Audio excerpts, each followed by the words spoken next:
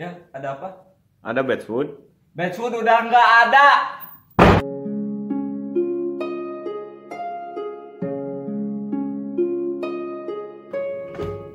Tapi bohong. Hai guys.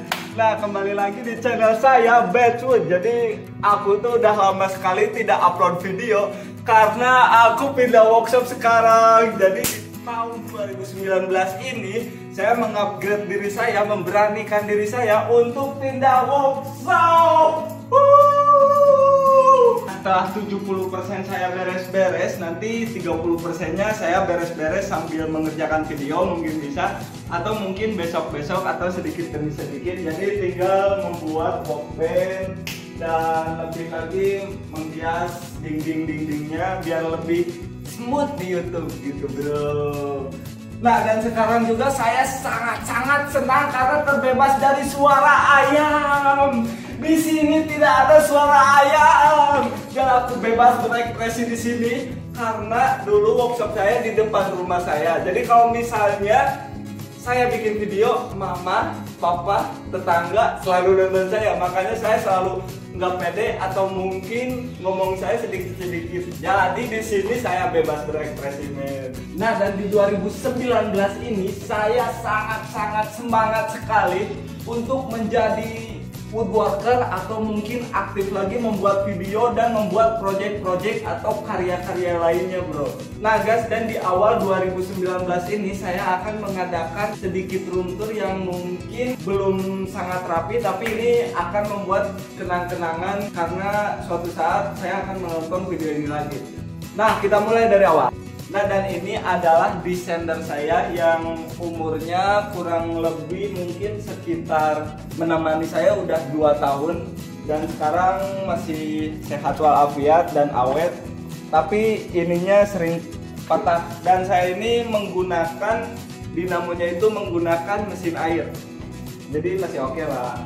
Nah dan ini adalah uh, table untuk finishing saya. Cuman saya bongkar lagi. Dulu kan sempat bikin dan kolektornya itu di bawah. Cuman di sini tuh nggak ada lubang ke bawah jadi saya menggunakan dan kolektornya di sini lagi.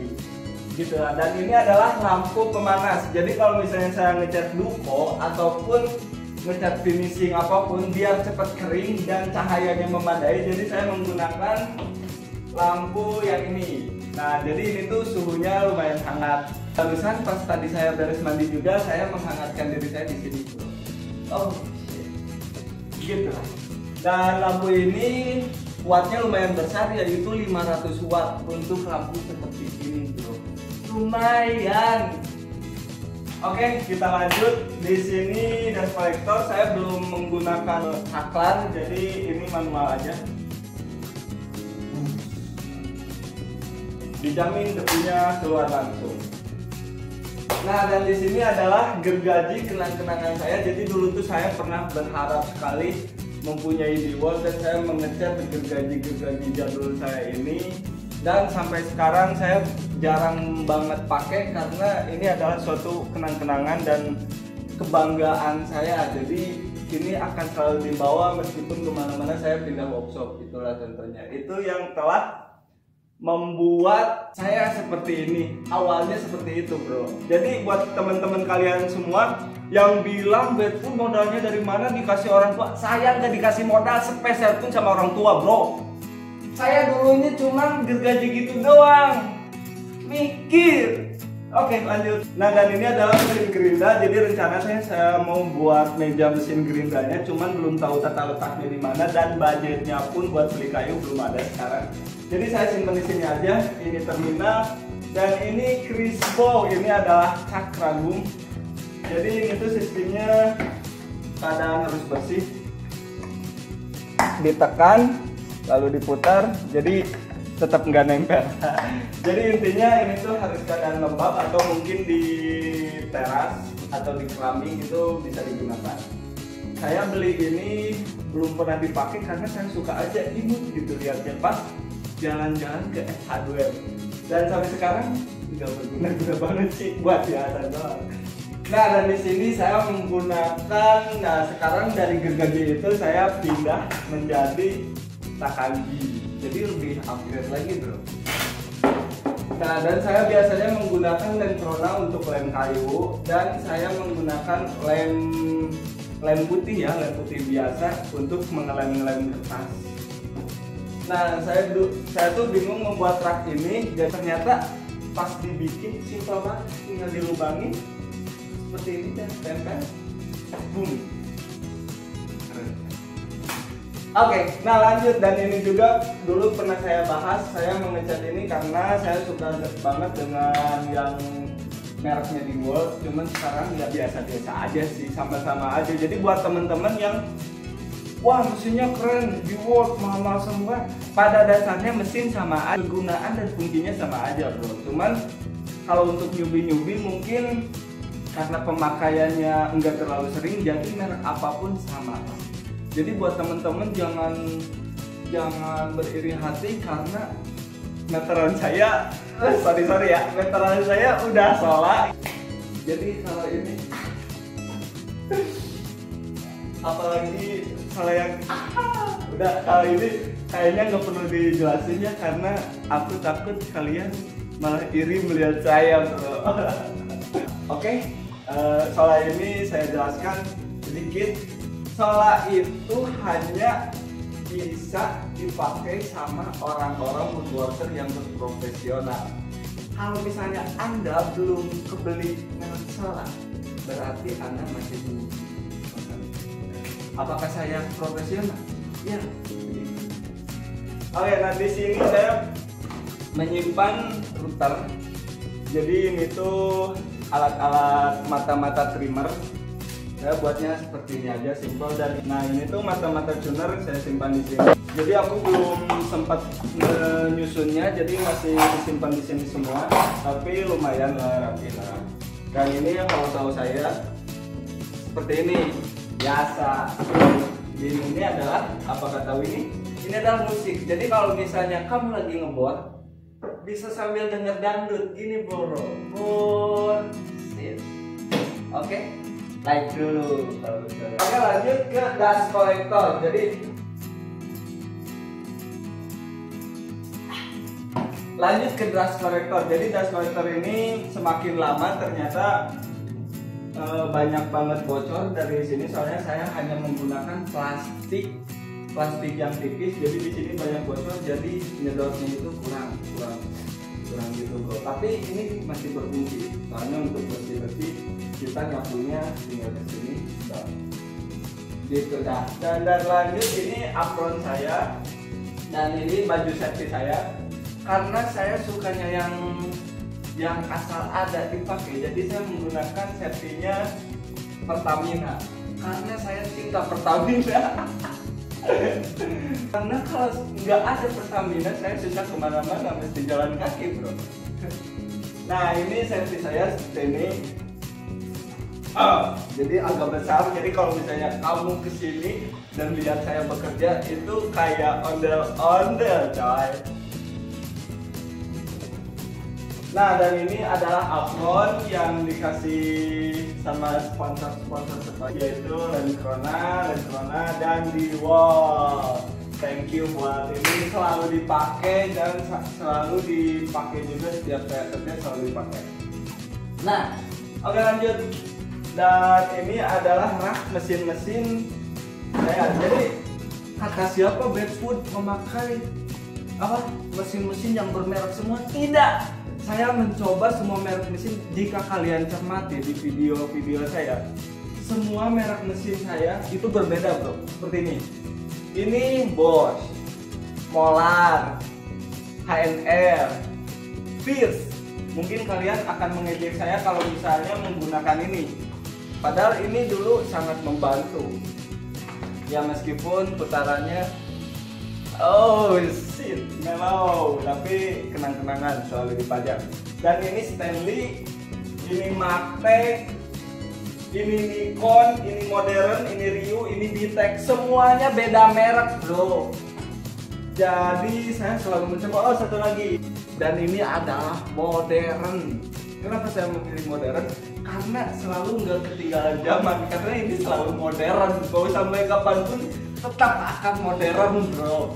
Oke lanjut ke table saw saya. Jadi pas mau pindah ke sini table saw saya udah permanen dan sudah dilem. Jadi saya bikin lagi table saw ini. Tetapi fansnya di bawah. Jadi fansnya tetap yang dulu. Cuman kalau rakitan semuanya ini saya bikin ulang lagi. Jika kamu lihat di sini di sini jadi nggak ada gambar ceweknya. Ah, gelas mantap nah di sini juga jadi nggak ada gambar ceweknya dan uh, ini adalah software sama pengatur kecepatan juga masih saya pakai. Sini tuh nggak ada lacinya kenapa? Budgetnya minim. Jadi masih permanen. Biar kalau misalnya banyak debunya paling dibuka manual langsung dibersihin. Karena belum ada budget intinya buat bikin oke lanjut. Yang penting ini masih bisa dipakai dulu untuk sementara dan ini adalah kacamata kacamata saya. Nah di sini saya kalau kacamata ini kacamata favorit saya adalah yang ini nih. Karena ini keren banget. Kalau yang ini suka dipakai sama yang kerja juga. Kalau yang ini nggak kepake jangan dipakai jarang dipakai jarang dipakai kan peredam tapi gambarnya keren. Jadi hanya sedikit menutupi kebisingan yang penting keren aja dulu oke kita lanjut. Nah dan di sini adalah mesin hamplas saya. Ini adalah mesin descender saya yang kecil. Jadi yang di sana itu yang besar yang di sini itu yang kecil. Jadi itu belum dibuatkan mejanya. Tapi yang penting bisa dipakai aja dulu. ini dan ini tuh adalah banyak sekali pertanyaan om kenapa ininya banyak banget? Emang kalau ngelem harus sebanyak itu ya? Sorry bro. Ini bukan buat ngelem tapi buat ngeklem jadi saya contohkan. Ibarat ngeklaim banyak. Jadi kalau misalnya saya ngeklaim tinggal ditempel seperti ini. Ini udah dilem tinggal pencet pencet pencet jadi klaim. Oke jadi ngeklaim. Kenapa saya menggunakan ini?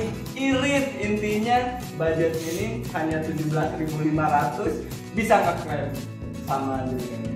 Jadi begitu bro. Kenapa saya menggunakan ini banyak sekali? Dulunya lebih banyak dari ini cuma sebagian dipinjam dan tidak kembali lagi oke dan ini klaim-klaim saya dan ini adalah klaim di DIY saya. Dan ini juga klaim jadul saya yang sudah menemani hampir tiga tahun tapi masih awet sekarang masih kepake sekarang dan buat teman-teman yang punya workshop dan udah punya nama workshop boleh dikirim stiker-stikernya dari penjuru dunia sekalipun boleh dikirim ke sini nah jadi saya ditempel di sini ini tuh ada dari Saling Silang uh, Hobi Kayu Sriwijaya Saling Silang lagi kelas desain, Malang, chapter dan lain-lain. Pokoknya ini tuh masih sekitaran Jawa. Jadi yang jauh-jauh belum ada. Makanya kirim ke buat ditempel di sini gitu. Dan ini klaim saya, mungkin kalian kalau misalnya yang yang udah tahu dan apalagi yang pernah beli klaim saya jadi saya juga punya jadi ini prototipenya yang jeleknya dipakai sama saya yang bagusnya dijual Oke, dan lanjut. Nah, dan ini adalah stok stok stok saya boleh lihat. Jadi dulu tuh kalau di workshop saya itu ada laci, jadi membuat kabinet dan laci-laci banyak. Cuman sekarang PR lagi laci bikin laci dan kabinet budgetnya kurang mengumpuni.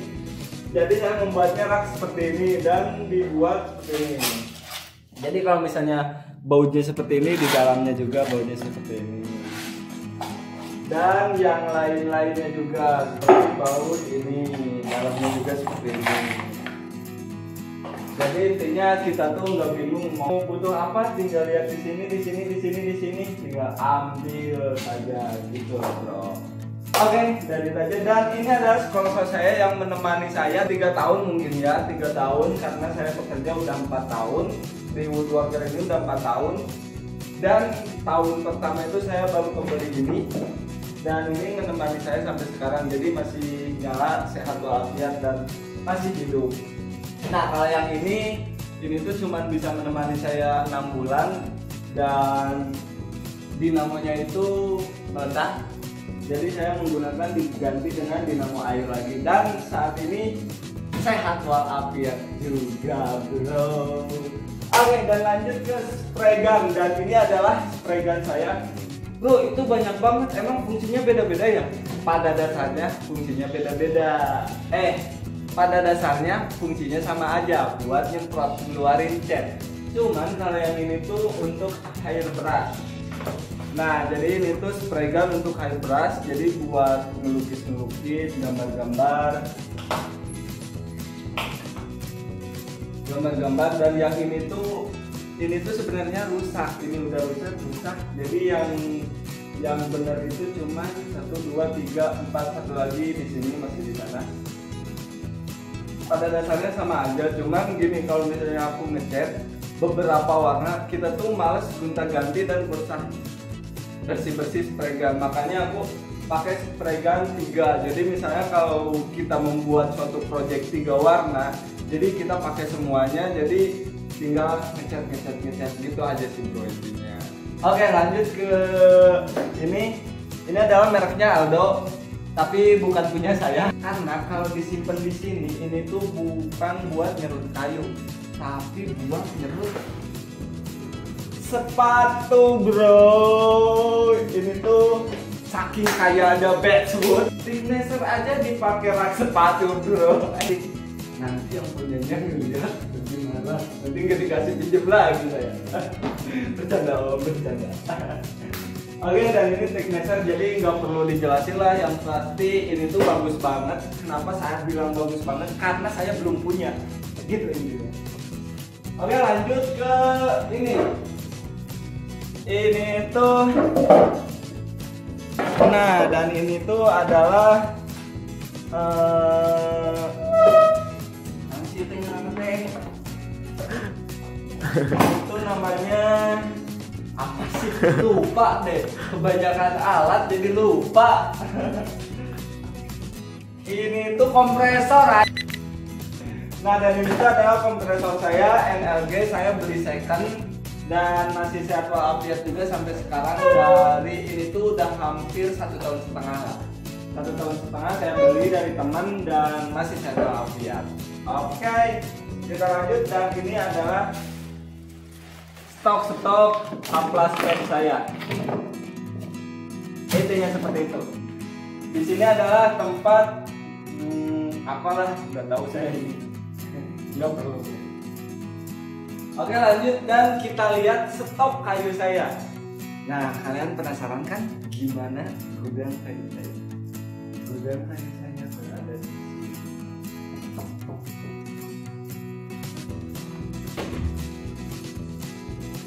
Oh.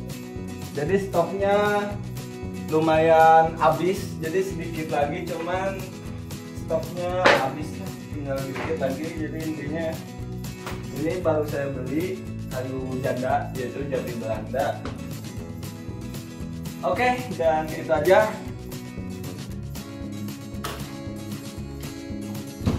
Nah guys, dan begitulah kondisi workshop saya di tahun 2019 ini. Semoga saya bisa memberikan motivasi kepada kalian semua yang mungkin baru pemula untuk merintis atau mungkin yang sudah profesional sekalipun bisa lebih semangat lagi dan kita kembangkan woodworker di Indonesia karena apa? Presiden kita pun berawal dari tukang kayu dan furniture dan kita kembangkan agar presiden kita melirik kepada woodworker woodworker seperti kita. Dan segitu aja video untuk kali ini. Dan selamat beraktivitas di tahun 2019 ini. Semoga kalian lebih jaya lagi lebih semangat lagi. Dan buat teman-teman yang pengen Bedfood membuat project apa di 2019 silahkan komen aja di bawah. Dan jangan lupa follow juga instagram saya di sini seperti ini indra.ega.kusuma itu adalah Instagram saya. Kalian bisa mampir di Instagram saya. Nggak masalah kalian mau mau follow atau tidak saya nggak maksa juga sih soalnya nggak penting-penting amat sih Instagram saya yang pasti begitu aja selamat berkarya karena di tahun 2019 ini saya akan membuat project-project yang lebih istimewa lagi karena saya lebih semangat lagi dan memberikan konten-konten yang lebih kreatif lagi. Dan buat teman-teman yang belum subscribe silahkan subscribe. Dan jangan lupa share juga. Dan kalian silahkan komen di bawah project apa di tahun 2019 ini yang pengen kalian buat di Bedwood. Silahkan komen aja nanti saya list. Dan semoga saja saya bisa mengerjakan project apa yang kalian mau. Meskipun saya bukan woodworker yang udah profesional tapi kita sama-sama belajar. Sekian dari saya. Tetaplah berkreasi berimajinasi tanpa